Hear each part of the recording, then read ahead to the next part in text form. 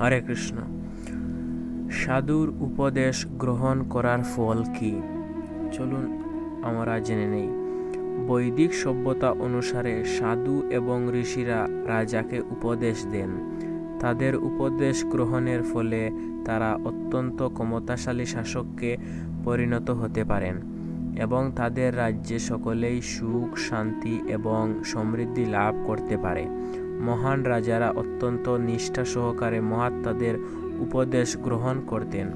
রাজারা পরাশর ব্যাসদেব নারদ, দেবল, অসিত প্রমুখ মহর্ষিদের উপদেশ গ্রহণ করতেন। অর্থাৎ তারা প্রথমে মহাত্মাদের প্রাধান্য স্বীকার করতেন এবং তারপর তাদের রাজকীয় দায়িত্ব সম্পাদন করতেন। দুর্ভাগ্যবশত কলিযুগে রাষ্ট্রনেতারা সাধুদের উপদেশ অনুসরণ করে না, তাই জনসাধারণ এবং রাষ্ট্রনেতা কেউই সুখী নয়। তাদের আয়ু অল্প হয়ে গেছে এবং প্রায় সকলেই দুর্দশাগ্রস্ত এবং দৈহিক ও আত্মাধিক শক্তিরহিত।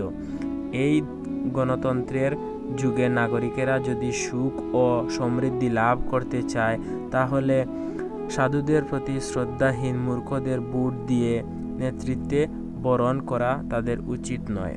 ভক্তি বেদান্ত তাৎপর্য শ্রীমদ্ ভগবত স্কন্দ চার, অধ্যায় চোদ্দ, শ্লোক চোদ্দ। জয় শ্রীল প্রভুপাদ। হরে কৃষ্ণ। হরে কৃষ্ণ। হরে কৃষ্ণ।